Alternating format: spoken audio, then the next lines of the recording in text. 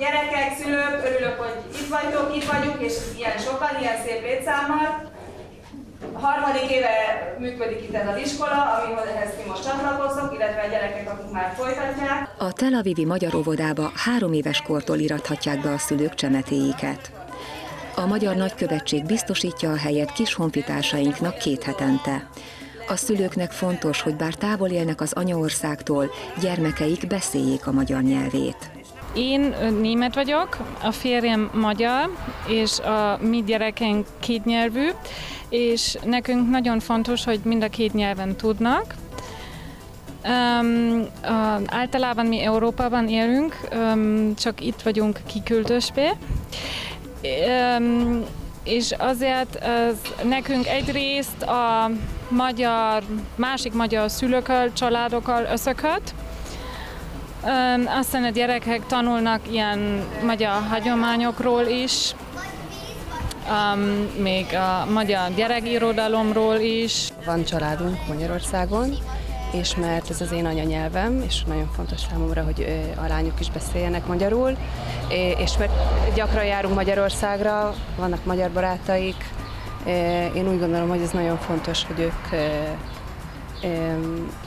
hogy ők egy, ezt, ezt a kultúrát is valahogy magukba szívják. Az iskolában magyar énekeket, verseket tanítanak a pedagógusok és az önkéntesek.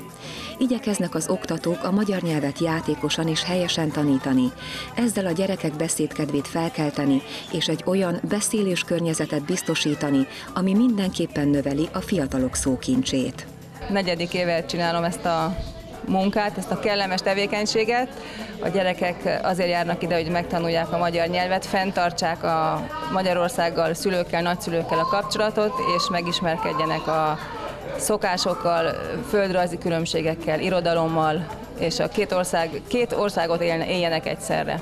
Az iskolán két hetente működik péntekenként, immár 40 gyerekkel, óvodásokkal együtt, és én nagyon szeretem én nagyon szeretem ezt, ezt a munkát, mert hozzásegítem őket ahhoz, hogy az identitásukat megőrizzék és a magyar nyelvet ápolják. Nem régen kapcsolódtam be a magyar iskolának a helyi munkájába, és nagyon élvezem, én mint önkéntes látok el itt feladatokat, és nagyon élvezem egyrészt a gyerekeknek a társaságát, másrészt pedig azt, hogy így lehet ápolni velük a magyar kultúrát, nagyon fogékonyak rá, és tényleg látni, hogy hétről hétre jobban kötődnek a magyar kultúrához, és az identitásuk erősödik ezáltal. Az oktatás magyarul folyik, bár van olyan csoport is, ahol használják a Hébert is, mivel az ott tanuló gyerekek egyáltalán nem beszélik még a magyar nyelvet. Két évet csinálom már, itt, itt vagyok 2015 óta, és élvezem, nagyon élvezem a gyerekekkel a tanítást, meg azt, hogy nevetünk együtt, meg velem lát, látom együtt, hogy hogy haladunk. Van legtöbb gyereknek családja külföldön, hát Magyarországon, és hát hogy velük tudjanak beszélgetni, kommunikálni, hogy ne, ne csak itt a, a szülők tudjanak beszélgetni a, a ők szüleikkel, hanem a gyerekek is a nagy, nagyszüleikkel tudjanak.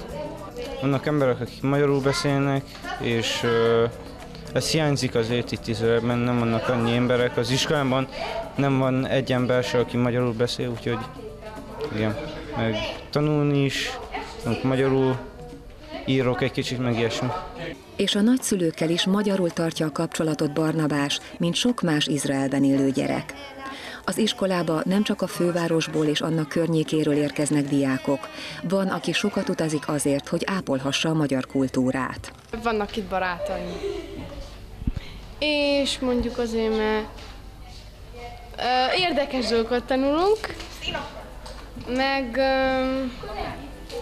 nem olyan unalmas, mint az iskola. Azért szeretem a, isk- a magyar iskolát, mert mindig valami különlegeset csinálunk.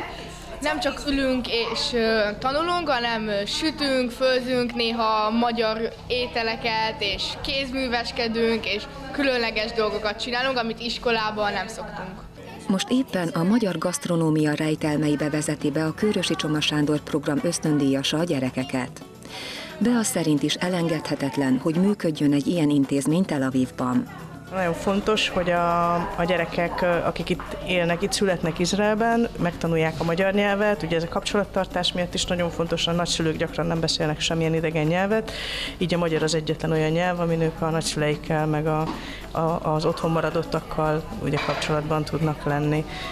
Elég nagy kihívás, ugye itt a másfajta írásjelek miatt, az írásolvasás megtanulása, hiszen a gyerekek itt hat éves korban, amikor elkezdenek írni, olvasni, akkor a Héber ABC-vel ismerkednek meg, és akik ebbe az iskolába járnak, ők egyidejűleg a magyar, a latin betűket is tanulják, a magyar szavakat tanulnak írni, meg a magyarul tanulnak olvasni, és hát néha elég nagy kihívás elé állítjuk őket ezzel, azt gondolom, de elég jól veszik az akadályokat. Ehhez pedig az kell, hogy minél többet beszéljék a magyar nyelvet, és nem csak két hetente a hétvégi iskolákban, hanem otthon a szülőkkel, barátokkal és nagyszülőkkel is.